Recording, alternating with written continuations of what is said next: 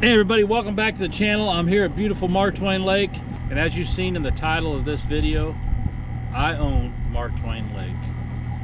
But I don't own the lake. I own Mark Twain Lake Fishing Intel, which is your go-to website here at Mark Twain Lake that's gonna allow you to get all the up-to-date fishing information. We got daily, weekly, monthly fishing reports.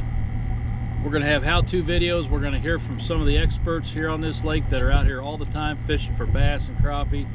Uh, if you're planning a trip to Mark Twain Lake, you only got two or three days, you know, you can get on this website and see what's going on on the lake before you get here. That way you're prepared and ready to catch fish. Uh, we're gonna have water levels, water clarities, all the major stuff that you need to know to fish Mark Twain Lake. Also, Mark Twain Lake Fishing Intel is gonna be a great place for businesses to advertise.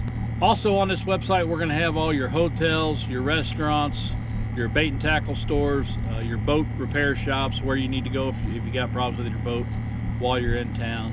It's going to be your one-stop shop website here at Mark Twain Lake. So anyway, Mark Twain Lake FishingIntel.com should be up and running by mid-August, hopefully. So you can start enjoying all the benefits that it has to offer. So uh, that's all I got.